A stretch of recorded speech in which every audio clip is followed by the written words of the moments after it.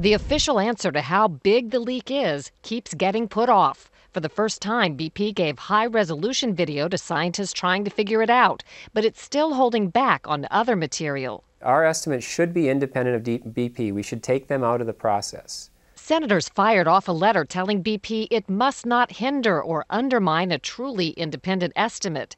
Meantime, there's mistrust over another issue. Very heavy sheen. Oil lingering unseen beneath the surface. It's marine scientists from Gulf State Universities, not the government or BP, who've been flagging giant undersea plumes for weeks. University of Georgia researchers found one three miles wide. The University of South Florida, an even bigger one. But BP, responsible for managing the fallout, appears to be in a perpetual state of denial. They insist all the oil is on top. The oil is on the surface. Do you not believe well, these Harry, plumes exist? Harry, there are not that we no one has found any large concentrations of oil beneath the so surface. So these scientists no, are no making it up. So scientists are making it up.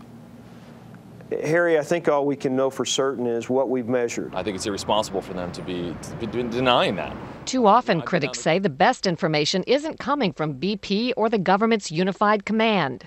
I had one of the state's scientists tell me that they have discovered oil just a few miles from the wellhead. It's miles long as a plume. But if BP is behind the curve on subsea oil, not everyone is. CBS News has learned that a proposal to track undersea oil went to the Coast Guard nearly five weeks ago. It would use modified Navy sonobuoys like these. The real time maps would give communities their best chance at getting resources in place. But backers were stunned by the Coast Guard's response. BP was calling the shots.